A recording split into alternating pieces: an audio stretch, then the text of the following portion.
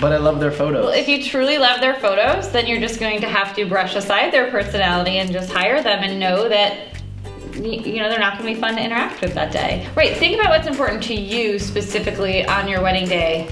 there it is. Yeah, I always say we're, we're kind of therapists sometimes as photographers on the wedding day. I, I really, I'm there, I'm, you know, half bridesmaid, half photographer, half therapist, half wedding planner. Um, and that's just how I do it. I mean, I'm Sure. really there for all of your needs. There are other photographers out there that they're just there to take photos. Right. And so you really have to think about what's important to you. Do your homework because not only do you have to visually like the pictures, you have to make sure that that artist is going to give you the experience that you're hoping for on your wedding day.